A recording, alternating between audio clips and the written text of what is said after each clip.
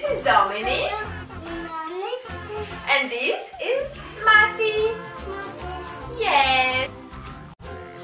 Thank you for uh, watching our videos. We will be posting twice a week. And mainly our videos will be about shapes, colors, numbers, and everything that's about learning for babies and toddlers.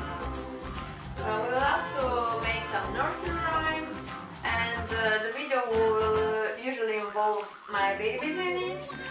So we'll try to make it as fun as possible to keep everyone entertained.